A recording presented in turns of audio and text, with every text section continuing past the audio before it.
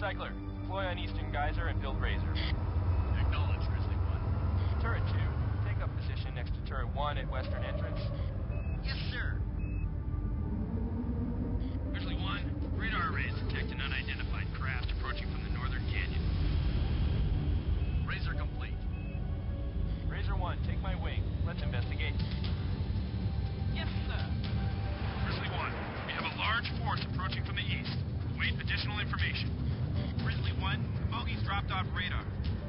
Razor 1, take my 6.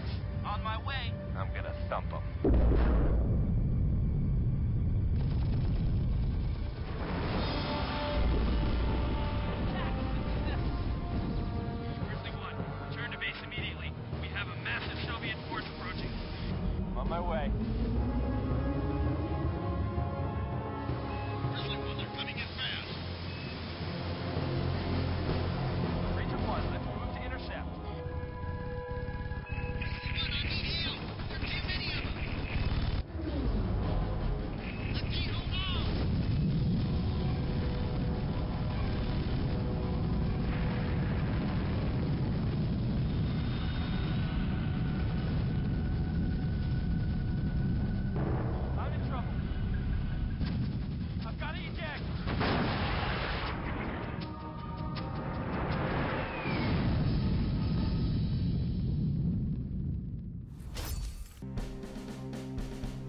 Greetings from the past, fellow time travelers. I'm Sporkinator. At long last, welcome to Let's Play Battlezone 98 Redux. Oh man, it has been a long time waiting, I'm sure, for most of you. Those of you who didn't play 1.5, what do you live in a cave? How did you not know 1.5 existed? I know the installer on battlezone1.com for it got taken down because it was illegal, let's be honest, but back before Rebellion was remastering the game, pretty much no one cared, so we got away with it. I suppose that that's all there really is to it. Anyway, let's go ahead and get into this, shall we? What do we have? Oh boy, let's start with combat exercises. I, I know I'm way too good at this game. There's so, so pointless for me to start here, but if I'm gonna let's play this game, let's do it properly. It's time for totally serious training as we head towards Luna, Earth's moon. We've got a bit of a loading screen. Oh, there we go. moon, Commander. I'm going to walk you through combat training. The General wants all NSDF command posts prepared to defend themselves. Future of our country depends on our success here in space. Oh, my mouse is not freaking working. What the Experimental f- Let's go for a test drive. Can I please have my mouse back? Welcome to the moon, Commander. I'm going to walk you through combat training.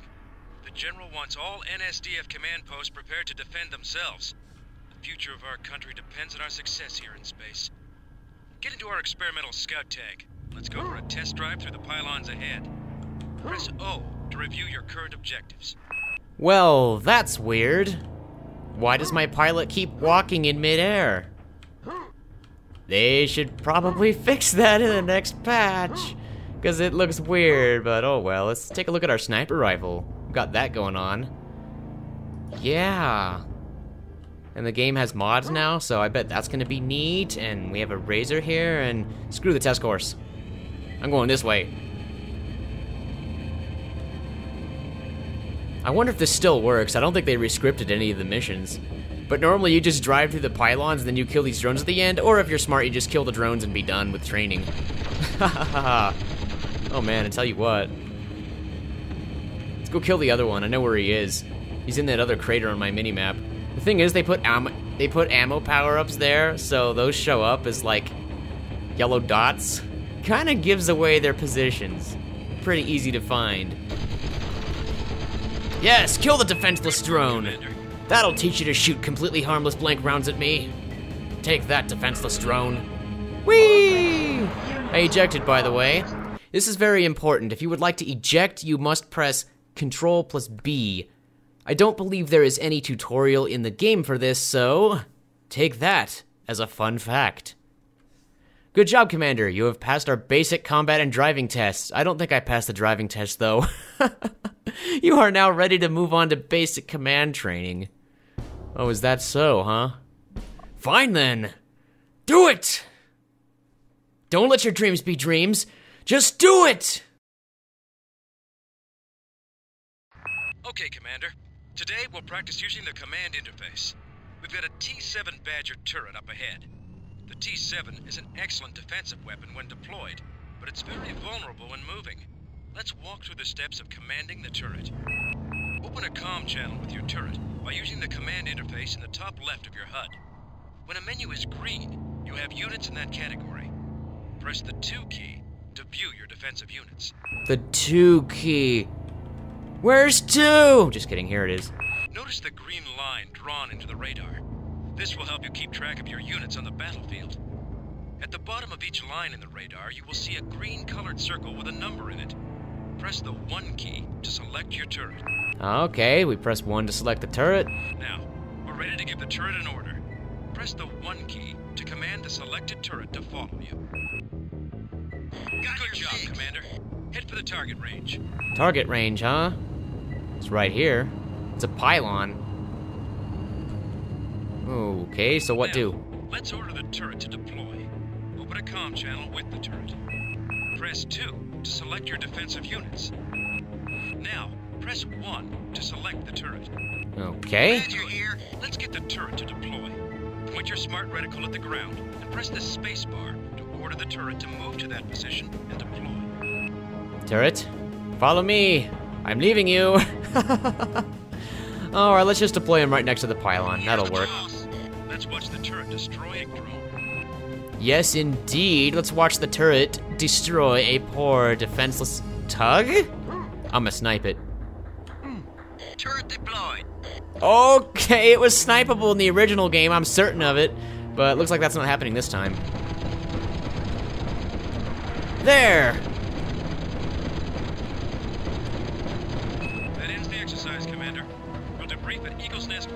Good job, turret! Good work, team!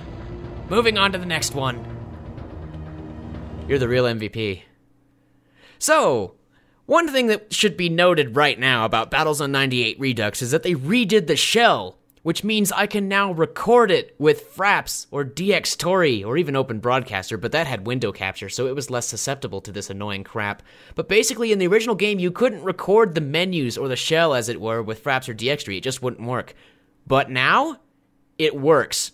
So doing a Let's Play of this game is now far easier than it used to be. In my original Let's Play, I had to edit in like the mission complete screen and other things, and I had to record it with like a tube catcher or something that was it was like a completely different capture program, and it was a real hassle. But now everything is easy. Good work, Commander. You now know all of the basics of using the command interface. The system will expand from here, but you will find that it always works in the same way. Let's move on to commanding the recycler factory to build units. Recycler factory. I really feel feel like they should have just left out the word factory. That's very confusing. Because later on in the game, you get another unit. Well, yeah, another builder thing called a unit factory, which is separate from the recycler and builds more advanced tanks and stuff. But anyway, I'm getting ahead of myself. Let's go ahead and start the next training mission. In this mission, we'll introduce you to factories. Factories reprocess a material we call biometal scrap into new vehicles, weapons, and supplies. We found scrap fields around the moon that probably came from meteor showers. Engineering has created scavenger units which are like big mobile vacuum cleaners designed to gather scrap. The recycler is the key unit in building a base. I've set it as your active objective. Open a comm channel with the recycler. Recycler recycler here. exists in a deployed and mobile state. It can only build units when it is deployed over a geyser power source. This recycler is currently deployed. Press the zero key to get it to pack up and ready to relocate to a geyser near a scrap field. Okay, and zero. Moving out. The recycler is now ready to move. Use your command interface to open a comm channel with the recycler and order it to follow you to a new geyser at checkpoint 1. Keep in mind that the recycler is big and slow, may not be able to keep up with you. Alright, so we can press 5 and then 1, or just point at the recycler and press space. Where's the power? And 1. Set to follow. The recycler's now following us, just like the turret in the last mission. Well, alright, without further ado, let's head over to checkpoint one.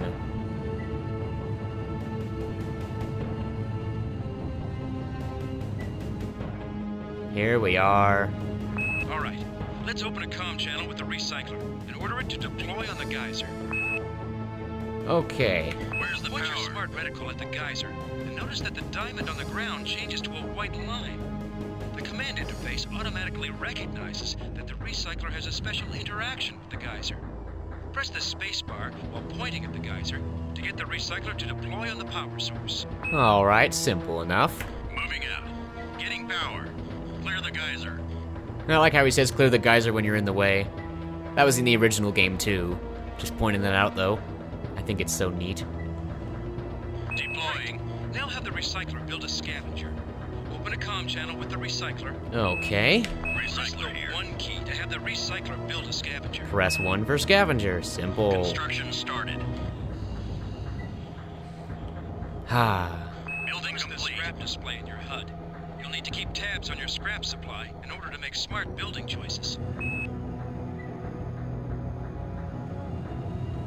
Okay, so this mission appears to be playing out a little differently than the original game.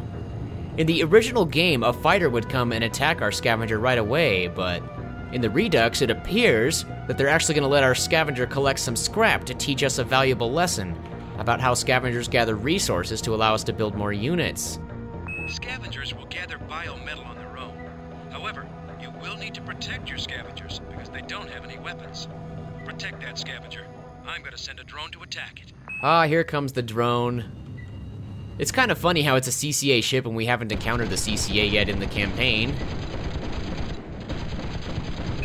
Good shooting, Commander. That enemy is scrap. But I guess that's just how it is, and they didn't bother to change it in the Redux.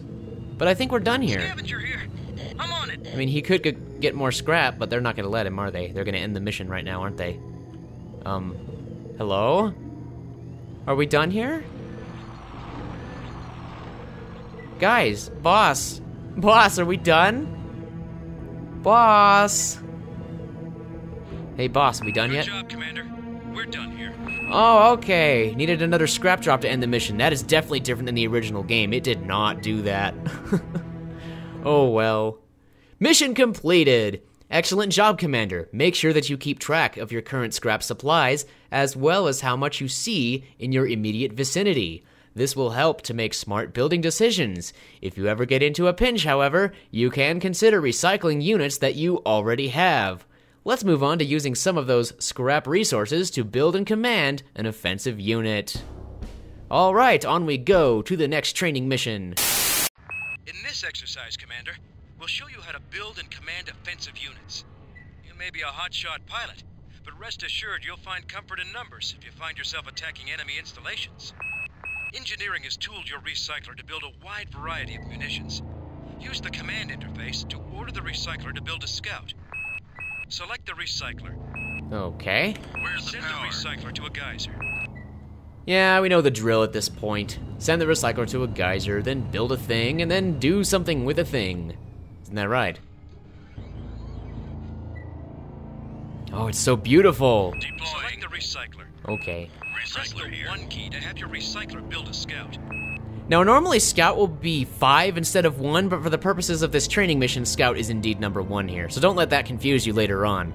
Construction Command started. a wingman just like a turret, but the wingman does not have to deploy in order to be effective in combat. I've put a nav beacon in the combat area. Nav beacons serve as spy cameras in the world, and you can also use them as staging points for gathering units. Hit the 4 key to access the list of active cameras, then hit the 1 key to select the first camera. Notice the spy camera in the top right corner of your HUD. Open a comm channel with your wingman. Very well. Order your wingman to the active nav beacon by hitting the Alt key. Hitting the Alt key. Yes, sir. Oh, good. That's working. Where you going, boss?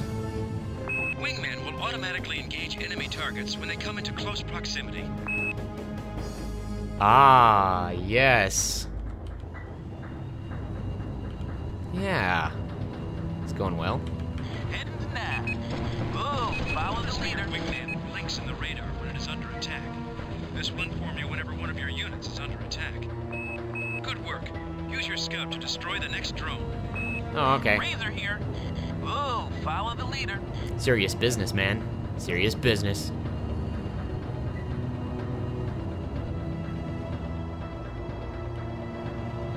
We there yet? Stop before you get into range of the enemy unit. Oh, Hit the T key to target the drone. right. Open a comm channel with your wingman. Oh, okay. Press the here. 3 key to see the available enemy targets, and then pick the target you would like your wingman to attack. You can fight with your wingman if you'd like. Okay, so we hit the 3 key and we see drone 2 as a, an available target. Up to 10 targets can show in this menu at the top left. So if we press 1, the scout will attack the drone. Let me at him. You get it, right? You get it. Fighting Because the way I'm gonna kill this drone is something oh, entirely different. I'm gonna use the MDM mortar that comes standard on my Grizzly tank. Boom. If you hold control, you can fire multiple. Just like that. Fighting enemy. No, you come back here. Good job, Commander. Now head back to the base. Back to base, got it. Got a long way to go, Razor One. Follow me. Follow the leader. Where are you going? Follow me. Oh, we don't actually have to go back. Oh, we got an achievement. We unlocked the playground or something. Commander, you have passed all of our combat training exercises. The NSDF brass has given you a command at Luna Outpost 3. Long range radar is picking up a lot of rocket activity in the area, and Command would like all resource gathering operations to have combat escorts. Congratulations on completing your training, and welcome to the zone! The battle zone. So now we go into combat exercises, and we can test out the playground because why not? Satellite enabled. Now, the mission description for this one says you can experiment and explore without danger. So that's basically what this is. You can experiment, build units, do whatever you want. And if you if you're using the map editor, you can probably place enemies and have a lot of fun with this. But yeah, there's not really much to see here, just launchpad and stuff. And that weird glowy effect, that is actually a new thing they added in graphics options, screen glow. If y'all think it's annoying, I can turn it off. And I think for the purposes of this Let's Play, I'm actually going to turn on vehicle cockpits. And when cockpits are on high, everything's a bit shaky, and I don't like that. So, I normally play with no cockpits at all, but like I said, I kind of do want to show them off in the Let's Play. So I'm going to put cockpit display on low, which has the cockpit in view, but has it sitting statically, and I love that so much. I'm so glad they put that in. I may consider using this in multiplayer despite the fact that it partially obscures my view and could make sniping a liability if I can't see my target due to my tank's cannon, but hey, whatever. It's it's really nice. It's something the original game should have had to begin with, but I digress. Anyway, let's go ahead and leave the playground and get into the actual campaign, shall we? And I'm wondering, should I turn up the detail? I think I have it on medium right now. And I know the terrain is supposed to look like really good on higher detail, but the question is, can I afford the performance decrease? I mean, I am playing in 1080p to be fair. As you can see, this is 1920 by 1080 at 32-bit color. But I don't know. I mean, vehicle shadows medium HUD size auto. That's another thing they added is HUD scaling, so the HUD is big now. That's why I can finally stand playing in 1080p, because I can still see my radar and read the multiplayer chat and all that good stuff. We also have an option to display the HUD, but I think if you disable the HUD, you won't actually be able to issue commands, so that's mostly useful for cinematic recording and stuff. I'm gonna put the graphics detail on high and darn the consequences. Cockpit display, screen glow. I could turn this off if it's annoying, but I think I'm gonna leave it on because I, I really do like the screen glow effect. And I don't think it costs too much in terms of performance. I did a few tests and didn't really see much of a difference. I did get frame rate drops, but they seemed completely unrelated to that option. Anyway, NSDF Command is concerned about heavy rocket activity in this theater. As of yet, there are no reports of direct contact with hostile forces. All Moon personnel are currently on high alert. Mission objectives: Get in a vehicle at Luna Outpost 3. Have the scaven have the bleh, have the recycler build a scavenger. Escort the scavenger as it gathers biometal. Engineering report: We've provided you with a variety of different vehicles. Get additional info on the vehicles by pointing your smart reticle at them and pressing I. All right, folks, here we go. It's that it's going to start out with that memorable cinematic that everyone feels nostalgia for. At least I'm fairly certain of it. The loading screens are a bit long in this game, but it's not too bad considering they vastly upgraded the graphics. Sometimes it bugs me that Armstrong and Shepard get all the credit. But we all wanted to win the Cold War. And we were ready to commit our lives to getting the biometal. The military boys used all the material that had fallen to Earth. And they still needed more. They went looking for a few cowboys to do the job. And in the end, they orchestrated the world's biggest cover up. They snuck a whole army into space and not a soul knew a thing. But now it's time. People should know why it was so important that we won the space race. People should know what happened to all those who went missing. The dead should get their honors. They should have their place in history. Because history has a way of repeating itself. Satellite Commander, We've discovered a deposit of biometal along with some strange radar signatures. Build a scavenger and escort it to the biometal deposit. Oh boy! This high detail is really costing me some frames. I'm only getting 50. 45 to 50 frames per second. I may have to go back and adjust that because I'm kind of picky about performance. Tell you what, low, medium, high, that's all we have. There's no ultra. Well, I'm okay with that because I clearly can't handle high. Cockpit display. I think everything else is fine. I mean, I could put vehicle shadows on low. Does anyone really care? I don't know if that'll help me, but whoa, what the heck? Uh oh. That kind of uh, really lagged the, the game a bit when it went to ultra for a bit there. I'll put vehicle shadows on low. They probably won't look too bad, right? Yeah, see, I'm back at a perfect 60 frames per second now. And if the vehicle shadows end up looking terrible, I'll turn them up a little bit. Let's just see how they look in the Grizzly. Because that's kind of the point of this remaster was the upgraded graphics. Do I even have shadows? I don't see I don't see any shadows. Which way is the sun? The sun's that way? Maybe the shadows are completely disabled when I do that. I don't know. Because I could have swore the com tower was probably supposed to have a dynamic shadow. And same with everything, right? I don't even see my own shadow in third person view. Yeah, I'm sorry that I'm not making any game progress here, but I am kind of still experimenting with this because this is all new. Uh, let's see, vehicle shadows, uh, medium. Does medium do anything? Hmm. Whatever. Recycler Let's here. build that scavenger and get this crap started. Construction started. For real now, because that's not the training missions. This is actually like the real campaign missions. Building complete. This is what you all probably have been looking forward to. Scavenger. So you want to escort the scavenger as it collects biometal, right? Now instead of just letting the scav wander aimlessly, what you want to do is have it follow you. Then it's behind you at all times, and you can keep tabs on it much easier that way. So yeah, we're gonna head towards the scrap field, which is nav beacon 2. And it's funny, this scrap here is actually a trigger for the next event. So we we should go here if we want to win the mission. 1, we've got a situation. Unidentified vehicles are approaching your position from the southwest. Following. Oh no, it's a fighter! I've never seen that before. It's coming towards us. What should I do? Well, only thing I can do is kill it. Scavenger here. Following. Stay behind me, scavenger. I'll protect you. Probably gonna need ammo later, so let's build one of those back at base. I could pick up that scrap there, but Building complete. I don't know. Scavenger here. Yeah, follow me. Following. They can get places faster if you have them follow you, so this is what you want to do most of the time. I'm on it. Getting scrap. Alright, he's at full scrap now. Let's have him follow us back to base so we can drop off that scrap at the recycler.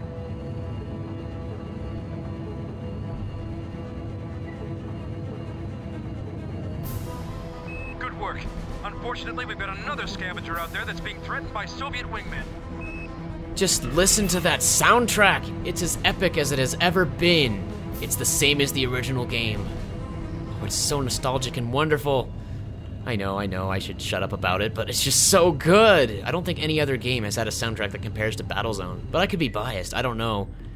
Put your opinion in the comments, I guess. Oh, hey, man, I don't appreciate you screwing around with my. Whoa. There goes the thumper. It didn't have much effect because I was close. I think it works better further away. But that's another one down, and another scavenger protected. Did he eject? If he did eject, I'm gonna snipe him. Uh, maybe he didn't survive the explosion. By the way, the scrap looks absolutely hideous. It's freaking orange and red and yellow or something. Who thought that was a good idea? Sorry, Rebellion, you goofed on that one. That's just stupid. But I guess I can kind of stop here and get like a close-up of the terrain. I mean, I know it's on medium detail instead of high. I could go back to high for a moment, I guess. Let's do that. Why not? See, terrain, terrain detail. I promise I won't be doing this through the entire Let's Play, just for the first episode here. Graphics detail high. Apply. Apply the high. Yeah, it does have some more detail work, to it. One. We've confirmed that the hostile vehicles are of Soviet origin. Hold up, hold up, hold up. Before we end the mission, I want to set that back because I can't handle the performance decrease. It's just too choppy for me. I mean, that's already going to be happening enough during battles and stuff, most likely. I mean, low is kind of low, but medium. Medium is a happy medium. They've maneuvered around Outpost 3 and are headed towards Eagle's Nest 1. Await further orders from NSDF Command. Oh, achievement unlocked, Red Arrival. We've beaten the first mission. As you can see, this game most likely has achievements for every single mission and completing all the training missions. So, the mission is completed. We have confirmed that the invading units are Soviet. As the CIA believed, the Soviets have a counterpart to our NSDF called the Cosmic Colonist Army. Could have swore it was the Cosmo Communist Army because that's what it is in the game's audio for the CCA campaign. But anyway, their goals are in direct conflict with ours. The CCA forces avoided Outpost 3 and moved on to attack our main base at Eagle's Nest 1. Their attack caught our base defenses off guard and casualties are high. NSDF Command is now recalling all combat units to help defend Eagle's Nest 1. The Soviets have already destroyed our primary recycler, and all building functions are currently inoperable. A training recycler, the NSDF Montana, is en route to help resurrect the base defenses. The brass wants you back at Eagle's Nest 1, where you will take command of all NSDF combat forces. And without further ado, I thank you for watching. And next time on Battlezone 98 Redux, we will take on the next mission. So, may we meet again in the future. Gosh, I'm so glad this thing is finally released. It has been a dream of ours for a long time. Well, when I say ours, I mean me and, and I think several other people in the community, but mostly Spectre. Spectre and I have always talked about what it would be like to have Battlezone on Steam. And now, at long last, everything we have dreamed has become reality. Beyond getting an unofficial 1.5 patch that made the game playable on modern systems, we now have an official Steam release. And by the way, I was in the beta. That was a ton of fun. You'll probably find out that my name is in the ending credits when you beat the game. So good luck. And may the Force be with you. I did finally see Star Wars Episode 7. It was good. I'd, I'd say it was pretty good. I, I mean, some things, like, I didn't really like the main villain. And beyond spoiling anything, I'm just gonna end the video here. Goodbye for now. I don't know why I'm still rambling about this. But yeah, see you next time.